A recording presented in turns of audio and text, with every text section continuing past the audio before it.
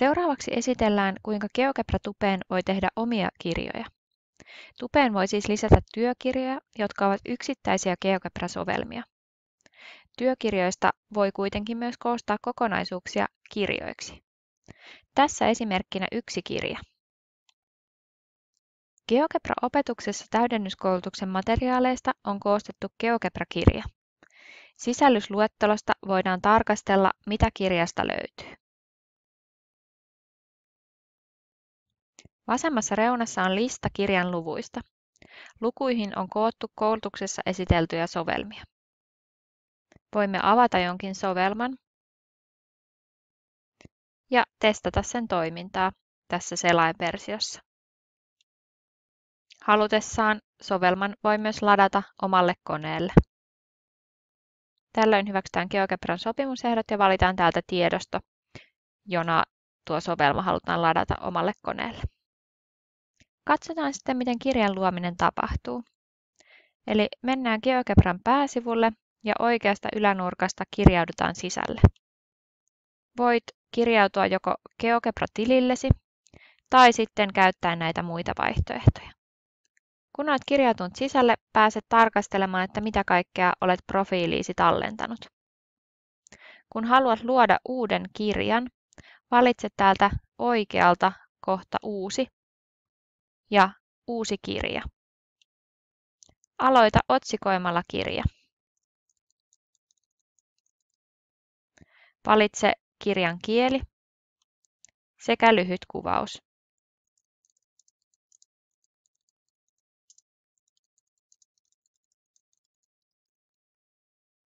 Täältä voit myös valita muiden käyttäjien tiedoksi, mille kohderyhmälle kirja on tarkoitettu.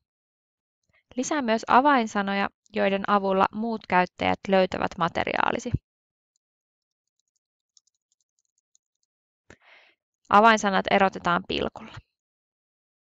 Ja täältä viimeisenä voit myös valita kirjasi näkyvyyden, eli voit valita, että kirja on julkinen, jolloin kaikki GeoGebran käyttäjät löytävät materiaalin ja voivat sitä käyttää. Voit myös valita vaihtoehdon jaettu linkillä, jolloin ne käyttäjät, joille lähetät linkin, näkevät tämän kirjan. Tai sitten voit tehdä kirjan vain itsellesi, kun valitset tuon yksityinen vaihtoehdon. Lopuksi valitse tallenna. Nyt kirja on julkaistu. Täällä vasemmassa reunassa, jos klikkaat otsikkosivua, pääset muokkaamaan tuota alkusivua. Eli tänne voit esimerkiksi ladata jonkinlaisen kuvan. Täällä voit myös muokkaa kirjan kuvausta ja näitä muita tietoja, joita äsken määrittelimme. Sisältösivulle voit sitten aloittaa kirjan luomisen. Voit luoda kirjaan lukuja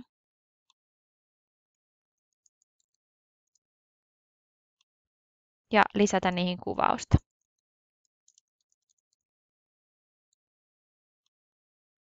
Työkirja voi sitten lisätä lukuihin. Voit lisätä materiaalia jo tänne GeoGebra Tupeen lataamistasi tiedostoista tai voit luoda kokonaan uuden työkirjan tässä samalla, kun olet kirjaa tekemässä.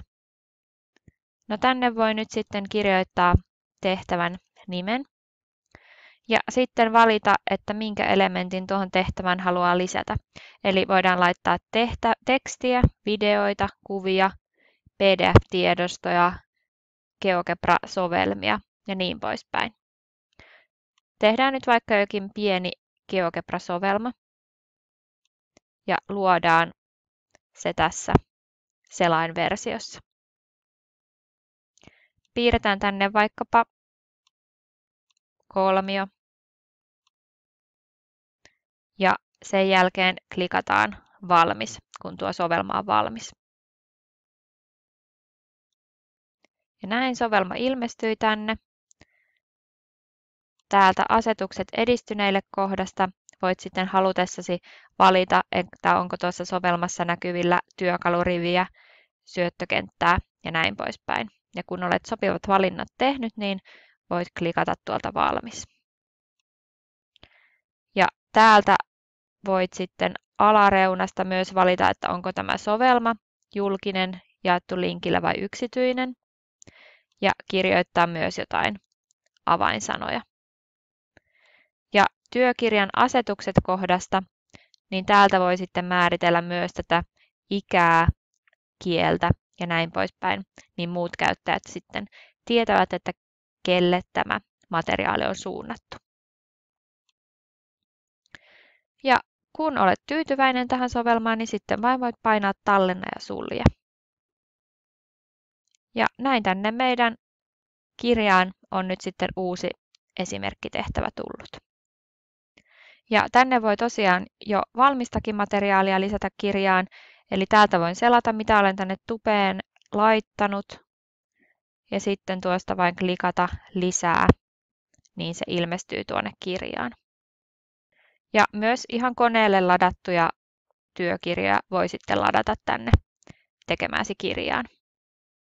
Ja täältä sitten kun klikataan näytä kirja painiketta, niin nähdään, että miltä se kirja sitten näyttää muille käyttäjille. Ja jos tänne tehtäisiin lisää lukuja, niin ne tulisi sitten heti tänne sisällysluetteloon näkyville ja samoin sitten tähän vasempaan reunaan. Ja sitten vaan testaamaan omien kirjojen luomista.